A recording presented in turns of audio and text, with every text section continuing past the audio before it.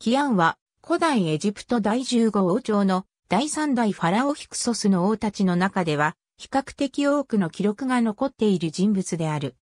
第15王朝の首都アバリスの宮殿跡からは、キアンの名前をカルトゥーシュで囲んだ印鑑が見つかっている。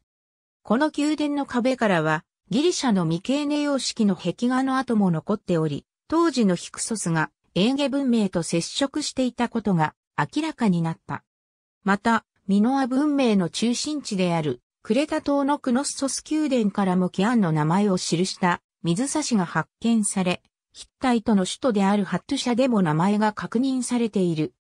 そして、キアンのものと思われる花崗岩製のスフィンクス像に至っては、イラクのバグダッドの美術史上で発見されているため、バビロニアとも外交関係にあった可能性がある。